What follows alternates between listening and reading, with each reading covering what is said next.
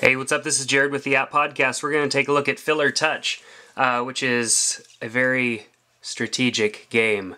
Uh, now, there's some options hardness, difficulty, all that stuff, sound or no sound.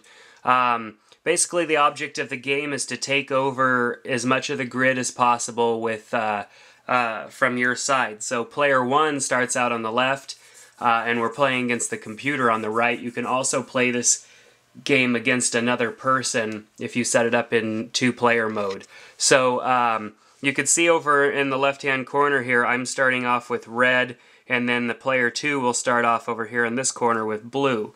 So you want to tap on one of these um, colors up here at the top that's going to turn the most uh, colors to that color wherever you're closest to. So we're down there in red, and I'm seeing that Probably orange or blue would be my best bet, so I'm just going to go with orange.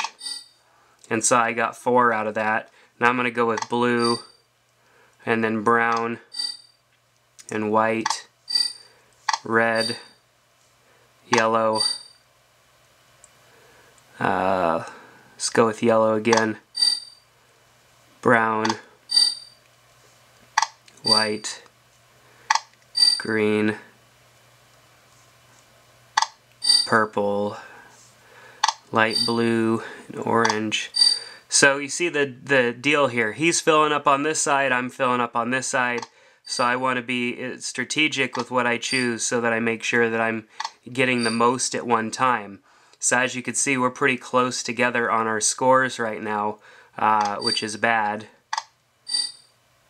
And uh, now I'm now I'm getting beat, which is what happened the first time I played this game. So, let's see here.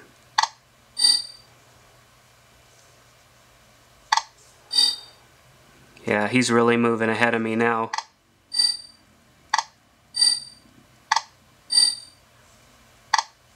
Way ahead of me now.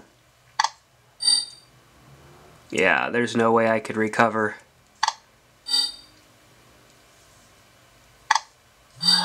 Yeah. So player 2 won, and keep, th this is on easy right now, so this is a hard game. I don't even want to know what hard would feel like. Um, I would have gotten smoked badly. But uh, it's a strategic game, so obviously, you know, play it a couple of times and you're going to get better at it and um, and it'll obviously become more fun when you start to beat the play computer. But uh, you could play this against other people too, which makes it a fun game. So uh, you're not just stuck playing against uh, you know the computer every time.